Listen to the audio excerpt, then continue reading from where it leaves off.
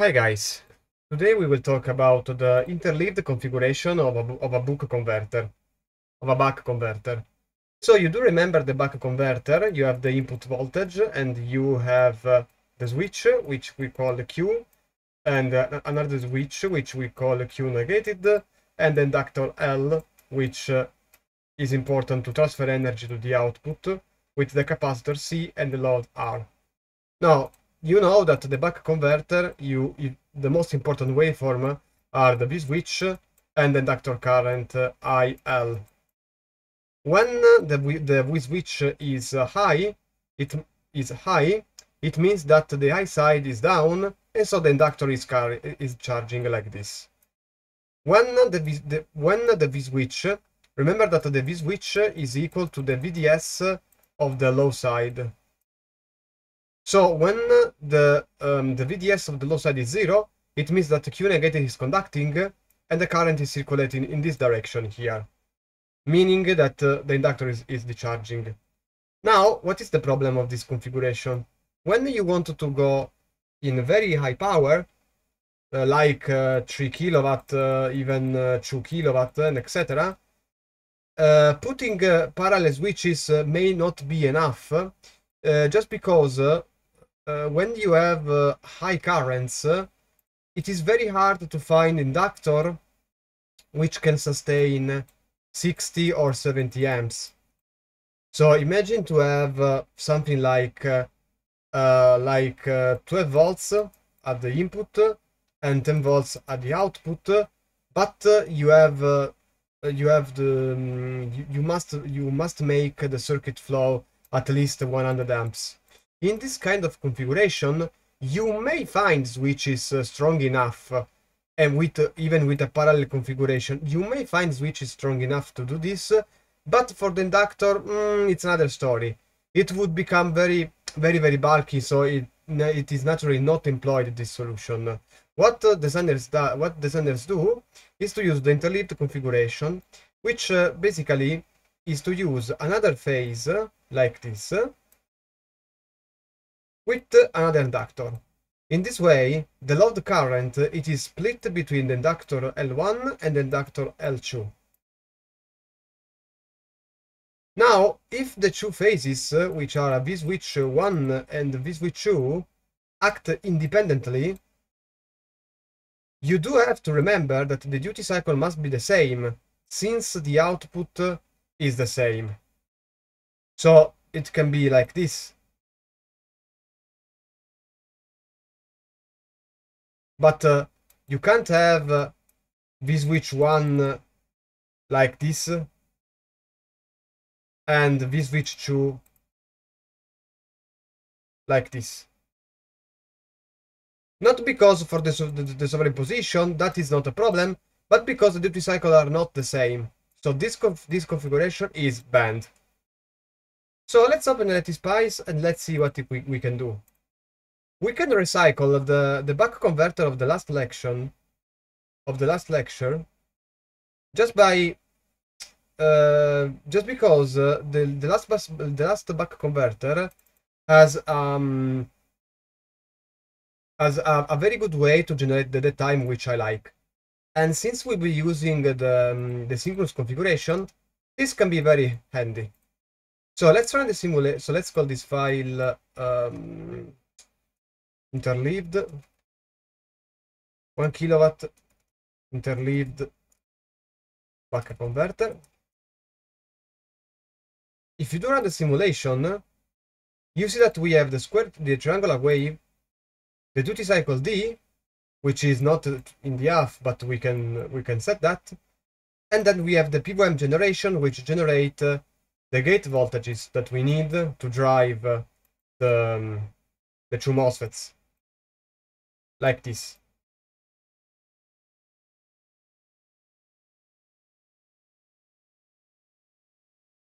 Zero dot four and zero dot six. So now what we can do is to use the interleaved configuration, but before doing that, we need to make sure that we have another driving system.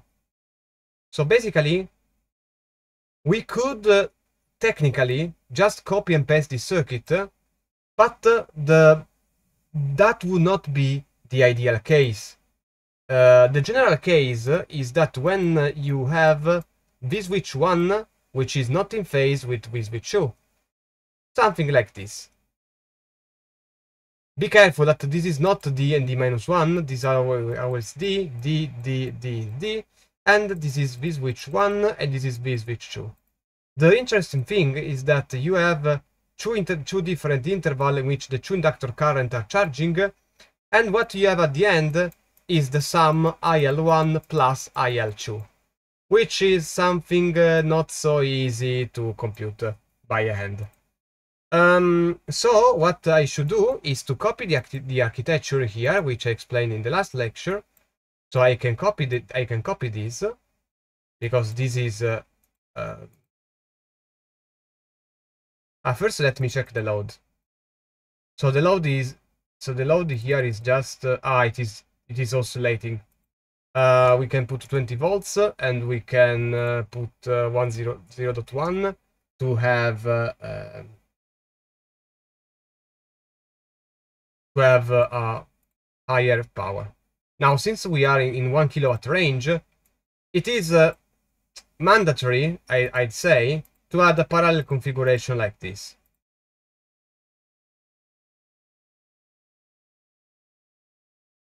So first let's check without the interleaved configuration what is going on.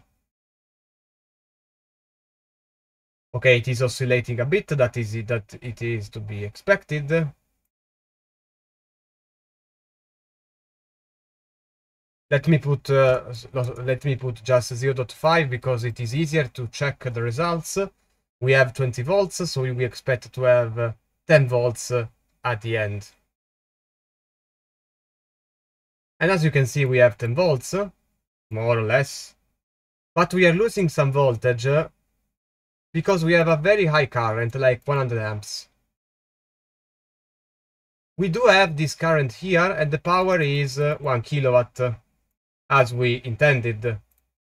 The problem is that uh, you, you can't find easily an inductor which sustains this current here, 100 amps. Now, if we check the dissipation of the MOSFETs, they are high as well. 6 watts is very, very high. So even though we put two MOSFET in parallel, you see that the dissipation is still high. Even for the low side, 3.8 watts is very high. Now, if I make the interleaved configuration like this, it will be basically by copying everything like this. Connect the input like this and connect the output like this. Now we could leave the circuit uh, now we could leave the circuit as it is, but you won't be in the general case uh, like I wanted to show. This is the case in which uh, both phases are acting simultaneously, but it is not the ideal case. If you now check everything again, we see that we have just one, just the half of the current flowing into this inductor. And 50 amps is something that the inductor can achieve so this is just uh, more, so this is just more feasible. If you check the voltage and check the power, it is even higher, because we are losing less. Now, if you check the dissipation of the MOSFET, it is just 2.4 2.4 watts, which is more achievable than before. It is still very high, don't get me wrong, but more achievable than before. Probably you should choose another MOSFET with less gate charge to have less dissipation. Remember that the I side does a lot of switching losses, uh, so the gate charge is crucial here. Anyway, we are we are driving the the two I side with the same uh, gate driver, but it is not but is this is not the ideal configuration. So what we need to do is to replicate exactly like this. We replicate the structure. This structure here, what, what it does is to give uh, a dead time Oops. I cancelled. We plug everything like this. because the, the dead time structure is something that we want to keep. And uh, but what we what we have to do now is to uh, translate just the triangular waveform. Now I put 250 kHz as the switching frequency, so it is reasonable to say that the, the, that the period is 1 over the switching frequency. And so uh, we can uh, translate this triangular waveform here, just to make an example, by half the switching, by half the period of switching. So we say that the delay of this guy is Ts over 2.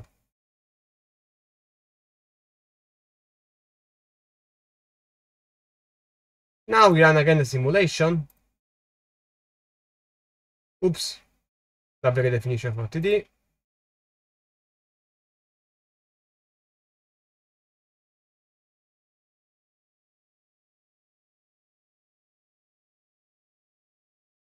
Uh, probably uh... Ah, sorry, I put the same node. Sorry, my bad. So let me put the delay, which is Ts over 2.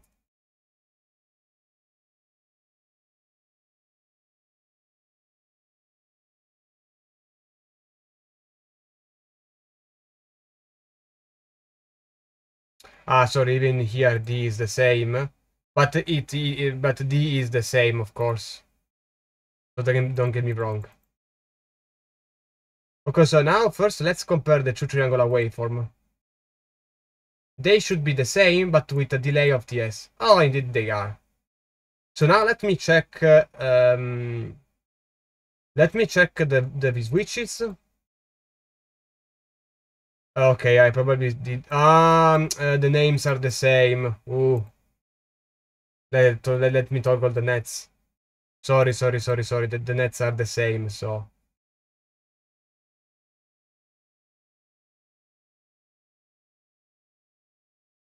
Okay, let me check the two switching voltages. Okay, so I, as we can see, I am um, um, the two the, the, the two switching waveform are different, and the two inductor currents are acting separately, like this. So uh, what we have at the end, uh, I should have prolonged the simulation a bit more. My bad.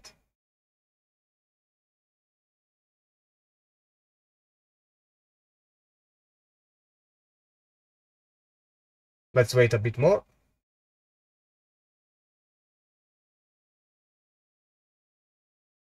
Okay, so now it is enough.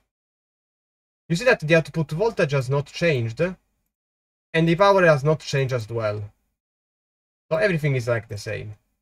The dissipation has changed a bit. 2.17. Naturally, uh, there are controllers which... Ah, as you can see, the power is split differently.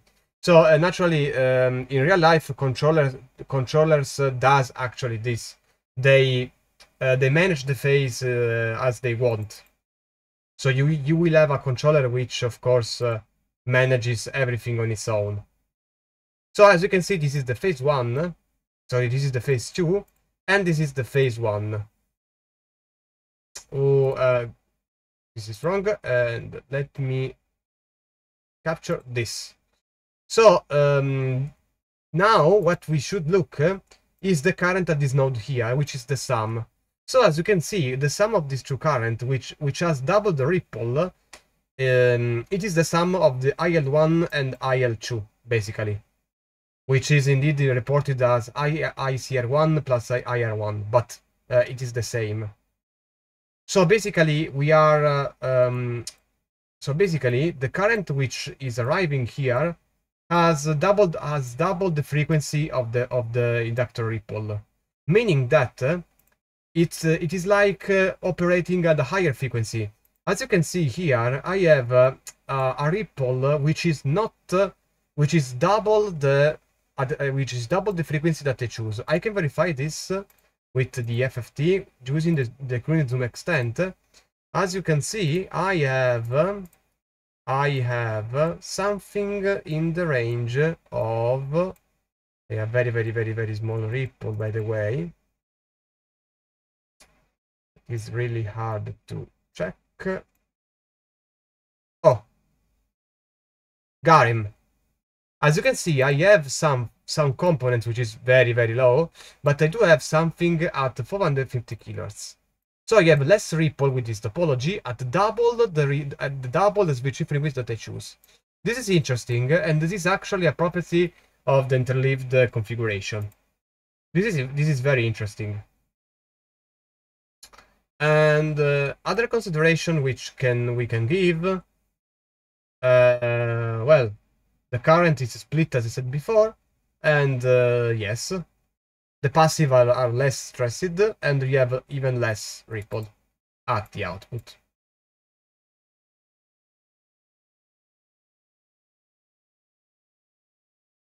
I think that we can close the video here.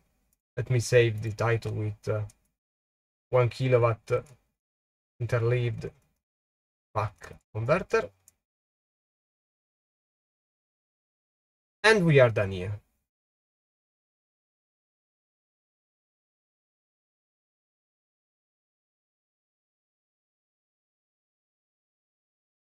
Thank you guys for your attention and see you in the next video.